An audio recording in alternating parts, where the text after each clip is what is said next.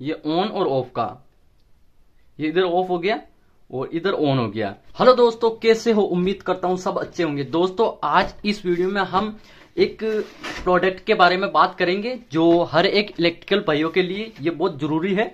तो हमारे इलेक्ट्रिकल भाई कंफ्यूज हो जाते हैं कि हमें ये प्रोडक्ट लेना चाहिए नहीं या नहीं लेना चाहिए। तो आज हम यही प्रोडक्ट खुद अपने लिए यूज़ करने के लिए लेके आए। तो इस प्रोडक्ट के बारे में हम आपको इसकी फ़ंक्शन और इसकी जानकारी शेयर करेंगे। तो ये प्रोडक्ट कुछ ऐसा है दोस्तों, ये हमारा प्रोडक्ट आपको, आप खुद ही पढ़ लीजिए। हाइड्रोनिल कंपिंग टूल यानी कि लग पंच करने का ये टूल है। तो इसका हम फ़ंक्शन वगैरह बात करेंगे। तो इसको पहले हम ओपन कर लेते तो ये एक तरीके रिव्यू वीडियो है। तो हम खुद इसको यूज़ करने के लिए लेके आए तो आपके साथ भी शेयर कर लेते हैं। तो आपको भी हम सजेस्ट करेंगे कि इस प्रकार का टूल आप ला सकते हो। जिससे आप बड़ी मोटरों में लग पंच वगैरह कर सकते हो। तो इसको मैं पहला ओपन कर लेता हूँ। ओपन कर लेता हूँ। थोड़ा वज़न ज़्यादा है इसमें। ओपन कर लेता हूँ। तो ये दोस्तों, इस पे भी लिखा हुआ है दोस्तों, हाइड्रोनिक कंपिंग टूल, यानी कि हाइड्रोनिल यानी कि हाइड्रोनिल सिस्टम पर काम करता है। तो इस टूल की खासियत ये है दोस्तों कि इसमें आपको लग पंच करने वक्त आपको इसमें ज़्यादा अपना ज़ोर लगाने की ज़रूरत नहीं है, क्योंकि ये हाइड्रोनिल सिस्टम पे काम करता है तो इससे क्या होगा दोस्तों, आप धीरे धीरे टूल को यूज़ करके लग पंच कर सकते हो। तो इस पे ये लिखा हुआ है, वाई क्यू के 300 यानी कि इसमें 300 तक की हम लग पंच कर सकते हैं। तो इसको मैं ओपन कर लेता हूँ। तो ओपन करने पर हमें ये कुछ इस प्रकार से दिखा है। तो इसकी कुछ पैकिंग वगैरह है। तो हमें नहीं पता ये पैकिंग कहा यूज़ करनी है, लेकिन हम जब इसको यूज़ करेंगे तो पता चल जाएगा ये पैकिंग कहा यूज़ करनी है। तो हमें कुछ इसकी ज़्यादा जानकारी नहीं है। तो फिर भी हम इसको साइड में रख लेते पहले इसको और आपको इसकी कंप्लीट टूल के बारे में बता देते एक बार। तो ये कुछ इस प्रकार से आएगा। इसको ओपन कर लेते हैं। और ये देखिए दोस्तों, आपके सामने है ये कंप्लीट टूल तो इससे क्या होता है दोस्तों? ये इसका सिस्टम दे रखा है। ये ऑन और ऑफ़ का। ये इधर ऑफ़ हो गया और इधर ऑन हो गया। यानी कि इसको हम चलाएँगे तो ऐसे रख के इसको ऐसे प्रेस करेंगे। आप ध्यान देना दोस्तों। इसको हम ऑन कर लेते हैं। ये देखो दोस्तों इसको हम धीरे धीरे ऐसे चल, चलाते जाएँगे। तो इसमें क्या होगा जो हमारे जेक आते गाड़ियों में लग, लगने वाले उसके हिसाब से ये उसी सिद्धांत पे काम करता है और ये धीरे धीरे धीरे धीरे आगे आएगा जिससे हम क्या करेंगे इसमें लग डाल देंगे बीच में से। ये आप जानते ही होंगे तो यहाँ से हम लग पंच करके लग डाल देंगे। तो इस प्रकार से ये इसकी लग पंच हो जाएगी। तो मैं आपको इसका लग पंच करके भी बता देता हूँ एक बार। तो पहले हम क्या करेंगे, इसकी पहले लग पंच बाद में करेंगे। पहले हम इसको सारी इसकी गोटियाँ वगैरह बता देते हैं, यानी इसमें कितनी तक की लग पंच कर सकती है। तो इसमें जो हमारी टूल में डाई डाली हुई, ये आपको दिख रहा होगा यहाँ पर। ये दस तक की है, यानी दस की है। उसके बाद में हमने यहाँ पर, ये अंदर इसमें कुछ ऐसे सेट दे रखे यानी ये हमारी होगी सोलह की तो ये दोनों सोलह की होगी तो ये सिक्वेंस बाई जमाई हुई है, और ये पच्चीस की होगी, और ये हमारी पैंतीस की है, यानी कि छोटी से बड़ी साइज़ की है, और ये हमारी पचास की, ये हमारी होगी सितर की, और इसकी बात करें तो ये हमारी पिचानवे की होगी, और ये 120 की, जो आपके लग आती है, उसी हिसाब से दे रखी है, ये डेढ़ सौ की होगी, ये एक की होगी, और ये आपके 240 की होगी, और ये आपके 300 की, यानी 300 की। टोटल इसमें कितने सेट दे रखे एक, दो, तीन, चार, पाँच छ सात, आठ, नौ, दस, ग्यारह, और ये एक हमारा इसमें लगा हुआ है, यानी बारह सेट टोटल इसमें दे रखे हमें टूल में डाई की। तो पहले हम इसकी, आपको सारे सिस्टम बता दिए हमने, और ये हमारे यहाँ पर हमें पड़ा है दोस्तों, ये लगभग साढ़े तीन हज़ार का। तो आपके वहाँ पर इसकी क्या प्राइस है?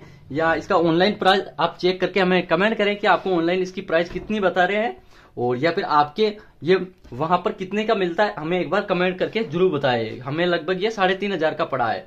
और इसी प्रकार का एक सादा वाला भी आता है, जो लगभग वो भी इसी रेट में आता है, लेकिन उसमें क्या होता है दोस्तों, हमें लग पंच करने में ज़्यादा ताकत लगानी पड़ती है और मैं, अगर एक आदमी हो तो उसमें, उससे लग पंच नहीं कर सकते। लेकिन ये हमारा टूल है, इससे हम लग पंच आराम से एक आदमी मिलकर कर सकते हैं। तो आप सोच रहे होंगे, इसकी जो डाई वगैरह कैसे चेंज करनी है? तो इसकी डाई चेंज करने के लिए यहाँ पर एक क्लिप दे रखा है, इसको नीचे करेंगे। तो हमारी ये डाई बाहर निकल जाएगी और अगर हमें चेंज करनी होगी तो ये ऐसी डाई वापस हम इसमें डाल देंगे, यानी नई इंस्टॉल कर देंगे। तो इस प्रकार से हम एक को सीधी और एक की एक को उल्टी डाल के इसमें अंदर डाल देंगे और उसके बाद में ये क्लिप वापस लगा देंगे। और इसी प्रकार से तो अब इसमें आपको एक बार लग पंच करके बता देते हैं। तो जैसे हमारे पास नई लग आवार फ़िलहाल उपलब्ध नहीं है तो हमारे पास पुरानी ये लग ही है तो ये लगभग हमारी 120 की है। तो इसमें हम 120 की, यानी ये 16 की डाई निकाल के इसमें 120 की सेट करेंगे। तो हमारी 120 की डाई कौन सी है? ये हो रही है हमारी 120 की। तो इसमें हम डाई इंस्टॉल कर लेते हैं। इसको बाहर निकाल लेते और ये डाई हम यहाँ सेट कर लेते और ये 120 की डाई इसमें डाल देते आपको। यहाँ पर दिख रही दिख रहा भी होगा, ये 120 की तो हम ये डाई डाल देते हैं 120 की और इधर भी ये डाल देते हैं 120 की और इसके बाद में इस क्लिप को हम वापस लगा लेते हैं। ठीक है? और इसको हम, ये हमारा ऑन कंडीशन में इसको कर लेते हैं, यानी नीचे की तरफ़ ऑन हो जाएगा। अब हम क्या करेंगे, इसमें लग पंच, लग डालेंगे। तो लग डालने के हम इसको ऐसे चौड़ा कर लेंगे और उसके बाद में हम इसको ऐसे सेट कर लेंगे। और फिर हम इसको ऐसे धीरे धीरे चलाते रहेंगे। आप चाहो तो इसको ऐसे भी सेट कर सकते हो। वो आपकी छड़े के हिसाब से डिपेंड करेगा कैसे सेट करना चाहोगे इसको। तो ऐसे ऐसे हम चलाते रहेंगे इसको।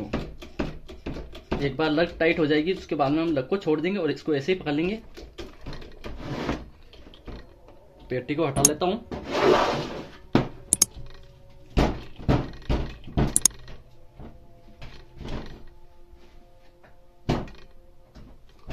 ठीक है दोस्तों, इस प्रकार से हमने पंच कर दिया। अब इसको जब से टाइट होगी तो इसको निकालने के लिए हम क्या करेंगे? इसको ऊपर की साइड ऐसे प्रेस करेंगे तो ये हमारा वापस अंदर की साइड चला जाएगा। तो ये अंदर की साइड चला गया तो इस प्रकार से हमने ये अलग पहले से पंच करी हुई है, इसलिए अच्छी तरह से पंच नहीं हुई। ये यहाँ से हमने पंच करी है।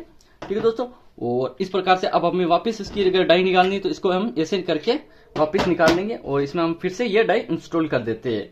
आप चाहो तो इस तरह से डाई चेंज कर सकते हो, या आप चाहो तो इसमें डाई रखो चाहिए ना रखो, आपकी इच्छा है।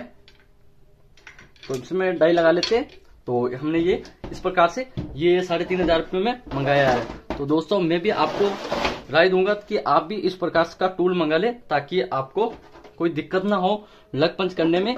तो ये बेस्ट है मेरे हिसाब से। तो इसका अगर आप प्राइस आपके हिसाब से क्या होनी चाहिए? आपको कैसा लगता है? इसके बारे में हमें कमेंट करें। और आपके उधर कितने का मिलता है, ये भी हमें कमेंट करें। और आपको कौन सा टूल अच्छा लगता है? सादा वाला है, या फिर आपको जो अपने या हाइड्रोनिल टूल है, वो अच्छा लगता है? और इसका हम एक बार, इसमें सारा सारा फ़ंक्शन दे रखा है दोस्तों। ये देखो दोस्तों, इसकी पूरी एक डिटेल दे रखी ये यहाँ से खुल भी जाता है और इसमें स्प्रिंग टाइप में जो सिस्टम दे रखा है वो भी दे रखा है। और ये इसका ऑन ऑफ़ का सिस्टम जो हमारा ये है ये हमारा ऑन ऑफ़ का सिस्टम इसके बारे में भी इसको दे रखा है। ठीक है दोस्तों? तो उम्मीद करता हूँ आपको ये वीडियो पसंद आई होगी। अगर वीडियो पसंद आई तो आप वीडियो को ज़रूर लाइक कर दे और हमारे चैनल को सब्सक्राइब कर दे। वैसे तो इस चैनल पर आपको मोटर वाइंडिंग से संबंधित वीडियो मिलती है लेकिन हमने ये हम, हम हमारे हिसाब से ये हमने यूज़ करने के लिए ये टूल खरीदा तो आपको भी इसकी वीडियो हमने यहाँ बना के शेयर करना ज़रूरी समझा, ताकि आप भी एक अच्छा सा टूल ला सको। तो मिलते हैं अगली वीडियो में। बाय दोस्तों।